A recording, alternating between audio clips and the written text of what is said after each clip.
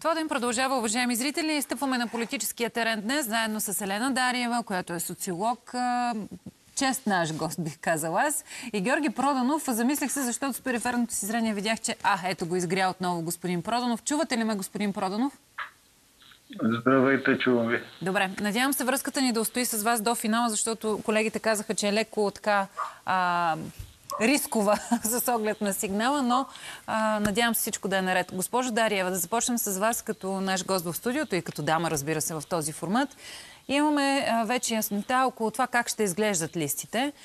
Какво на пръв прочит може да ни кажете? Очаквани или с изненади от а, друга страна някъде в тях?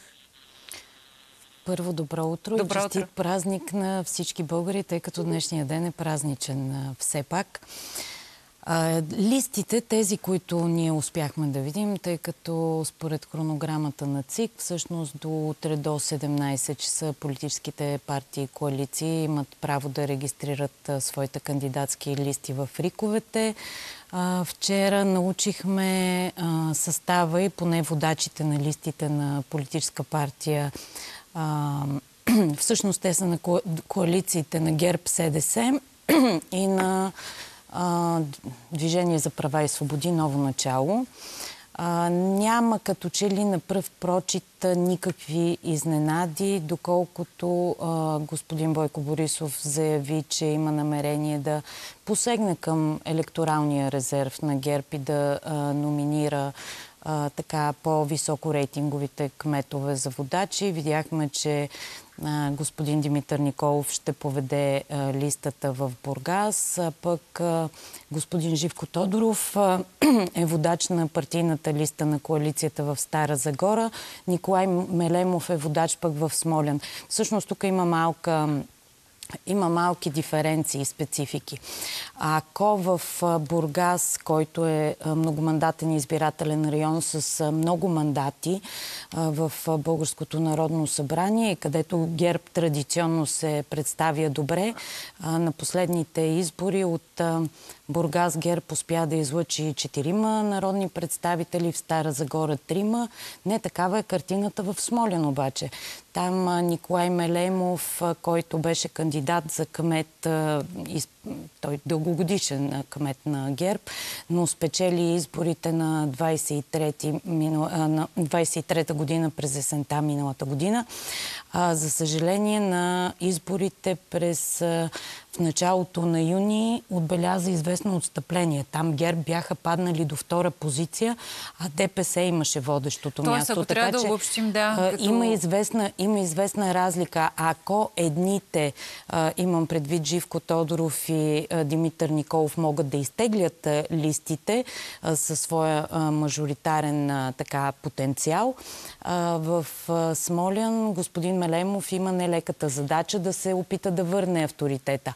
Малко по-извинявайте, искам да кажа и за ново начало на Делян Пеевски, които пък подходиха изключително, според мен, находчиво в Бургас, където водач на листата е кмета на община Руен.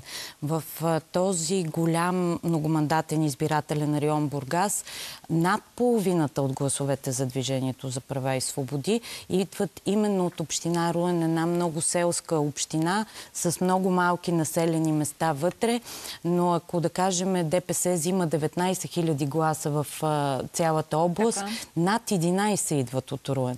Тоест, Тоест много, повече от половината много, са от там. Много силно намерен лидер, а там пък е много любопитно и второто място. Там е, виждаме, Калин Стоянов на втора позиция, който е водач в София област. Нещо, което също не е изненада, доколкото беше заявено поканата предварително. Се, поканата вече се... А, Състоя се, спази Материализира в приета такава и а, Калин Стоянов, бившия вътрешен министр, попада в листите и то в две листи на, на ДПС ново начало. А, господин Проданов, прехвърлям към господин Проданов а, думата. А, как ви изглеждат на вас листите? Така, госпожа Дариева много добре направи детайлно поглед над подхода на ГЕРБ от една страна с кметовете и от друга страна пък погледнахме към, към ДПС ново начало на Делян Пеевски, където виждаме реализираната а, покана на Пеевски към Калин Стоянов за кандидат депутат.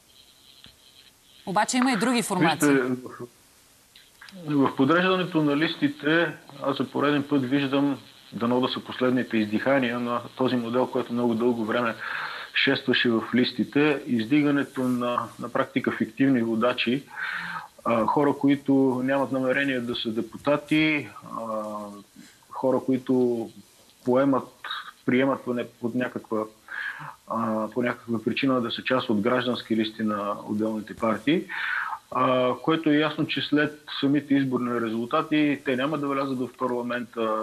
Слави Трифонов също е водач на листа, доколкото да, водачи. видях. Да. А, Тоест, на фиктивни практика, казвате, като, като хора поставени там да привлекат повече, повече избиратели, но след това да се отдръпнат от активната политика и да, да оставят Точно, мястото си. нямат намерение да влязат в парламента. А, подкрепа на това ми твърдение, вчера видях заглавие на радио Стара Загора, кмета на Стара Загора, Живко Тодоров, който казва, че след изборите ще остане кмет на Стара Загора. Нали, това за мен е поредния опит в сегашната хиперкризисна ситуация за партиите отново да се достигне до сегашния резултат в парламента. Едно огромно количество от хора, които са непознати, безгласни букви, някъде там в листите назад и онези, които всъщност са разпознаваеми и имат политически потенциали, определено политически капацитет, като да кажем Старозагорския кмет или Бургаския, отново да отидат в резерв. Т.е. електоралния резерв в случая на ГЕРБ да бъде опазен. Мисля, че а, по същия начин ще продължат нещата и в другите партии. Виждаме подобната мимикрия в листите на БСП, където въпреки големите заявления за сериозното обновяване, а, така, хиперкоалиционната хиперкоалицията, която създадоха, всъщност не дава никаква, поне за момента, никаква не дава добавена стойност. Аз си мисля, че няма да даде такава стойност и на изборите. Просто защото виждаме старите лица, старите обещания и нещо повече, старите проблеми вътре в самите партии. Добре. Така че извън опитите да бъдат демонстрирани формални промени в листите, аз промени в политика и в действителни намерения на партиите не виждам към момента. Госпожо Дариева, по отношение на БСП, наистина през последните два дни активно се завъртя така в медийното пространство подхода на БСП с това обединение и с избора на, на някои от лицата в листите.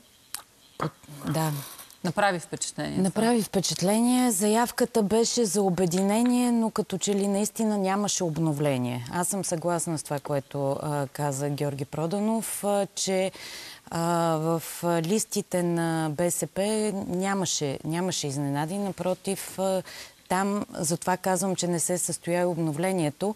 И другия момент, който според мен е още по-интригуващ около БСП Обединена левица, всички анализатори, които така отблизо следят процесите в ляво, предупреждаваха, че когато левицата тръгне да се обединява, тя обикновено се разединява до 21 можеха да се правят промени в състава на коалициите и ние вече видяхме такава промяна именно в редиците на БСП Обединена левица с напускането на партия Мир.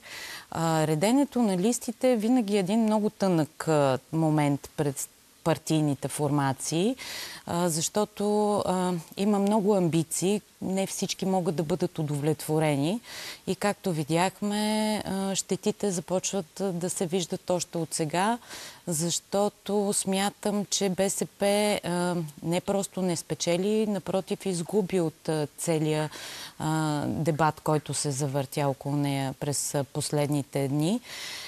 Но да, съгласна съм, че а, с извода, че част от водачите като че ли а, са фиктивни и им идват да изиграят ролята а, на ракетата носител, която да изтегли пропорционалния вод. В случая с а, мажоритарните кандидатури за Живко Тодоров и аз прочетох тази информация, че той казва, че отказал, той дори, ще дори, да бъде, дори да бъде избрана, той със сигурност ще бъде избран, защото резултата на ГЕРБ там не стои под въпрос изобщо. Листата в Стара Загора също е дълга, така че там няма съмнение, че ГЕРБ ще излъчат свои представители и той като водач ще бъде избран. Но той казва, че не би приел нито депутатско, нито министерско място, което по някакъв начин е доста трудно обяснимо как в кампанията ти а, говориш с избирателите, какви ангажименти поемаш към тях, след като още от самото Казваш начало директно, казваш, че няма да си няма народен да представител, да, но гласовете да за мен само по себе се е сблъсък на, на заявки и да. на... Да на очаквания. Освен а, листите, къде според вас ще бъде най-голямата въпросителна на тези избори. Господин Проданов, гледам към вас. Някак последните месец, месец и половина, като седмици, интензивно следим процесите в Движението за права и свободи с двете фракции, пък регистрацията им за изборите, кой как ще участва. Между другото, знаем за ДПС ново начало на Певски, но не знаем Алианс за права и свободи на Ахмед Доган, как ще изглеждат листите. Знаем само, че той ще а, ще бъде част от листите. Той ще, ще се връща към активната политика. Това ли ще е най-голямото, най-големия въпрос, чието отговор ще очакваме след 27 октомври като резултат? Това ще е, може би, най-любопитното. Да. А, как ще завърши сблъсъка между двамата някогаш и настоящ председател на ДПС. Но за мен по-интересно би било а, нещо, което малко остава в страни от а, изборните резултати. А, ако се гледаме в предишни резултати, има места, на които имаме причудливи така, констелации от а, а, преференциален вод. А, говоря за така, известния случай сина на кмета на Симитли, който не успявам да запомня името му пореден парламент. А, дамата от Варненско, която събира двуцифрен резултат. А, съпруга на дамата от Хасковско, който събира двуцифрен резултат. Преференции. А, без съмнение това са контролирани гласове, които обикновено се свързваха с а, поставени хора около ДПС, поставени хора около различни економически кръгове а, или а, намерили така приюта при ГЕРБ или при някоя друга а, партия, за да вкарат свои представители в парламента. За мен ще е интересно дали тези прикрито мажоритарни а, вотове ще бъдат повторени, а, защото това ще покаже в коя посока отиват а, така сенчестите економически интереси в отделните области. А, съответно, кой ще бъде новия носител или доколко на стария носител може да се разчита. Ако не се лъжи, в Видинско имаме същия подобен случай, вероятно и на други места.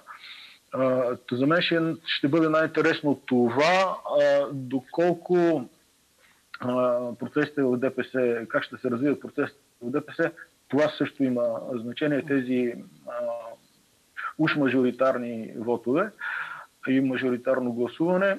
А, все повече си мисля, че а, изборите няма да дадат крайен резултат за отбитката в ДПС и ще продължим да гледаме замерване с компромати и така всякакви лични подробности. А, тази партия с история и а, двамата участници, лидиращи сблъсъка, има какво да извадят със сигурност. А, може би това ще бъде всъщност и така по-интересно от а, това дали ще имаме ново правителство. Не ми се ще да а, прогнозирам, но а, вероятността, ако Делян Пеевски успее да се справи с а, тази битка в ДПС, следващия опит той да а, се обяви по същия начин война на останалите партии, да се опита да достигне до успехи в държавата, т.е. да контролира едно управление. Но предстои да видим какво ще се случи на изборите. Все по песимист че ще има промяна в избирателната активност. Може би това ще доведе една стара моя теза до влизането на много странни малки партии и ерозия на още по-голяма ерозия на досегашните, включително някои, които изглеждаха незасегнати до момента от всички тези процеси на загуба на доверие.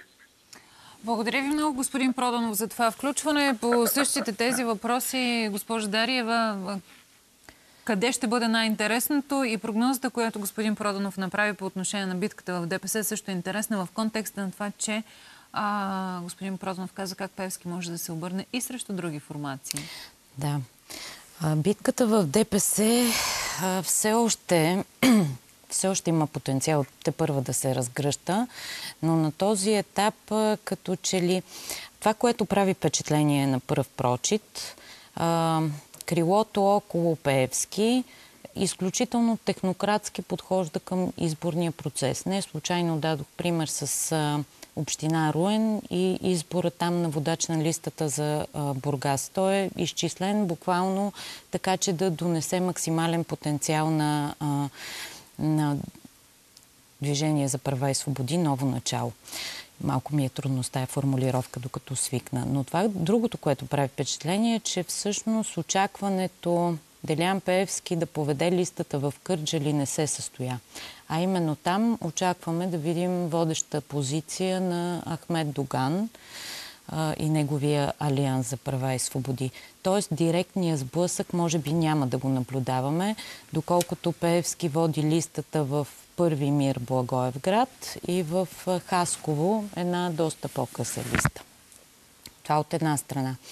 Към финала сме само ви предупреждали да, да, да другото, другото, което е изключително важно е, че да, избирателната активност ще бъде това, което е ключово.